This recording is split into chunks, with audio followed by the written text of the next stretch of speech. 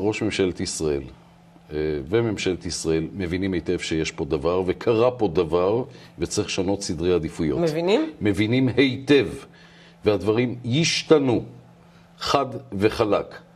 אף אחד לא משחק פה משחק, או שמעתי את הצעירים המפגינים, המוחים, שאנחנו מחבקים אותם, שאנחנו מבינים את מה שהם אומרים, שמישהו מנסה לסובב אותם בכחש. אין פה כחש.